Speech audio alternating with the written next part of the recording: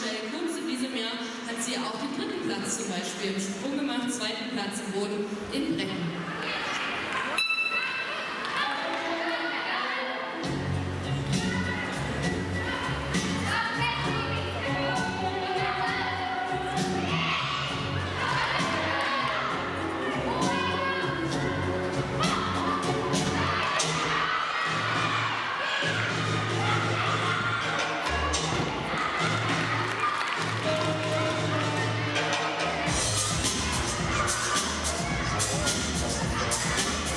Thank you.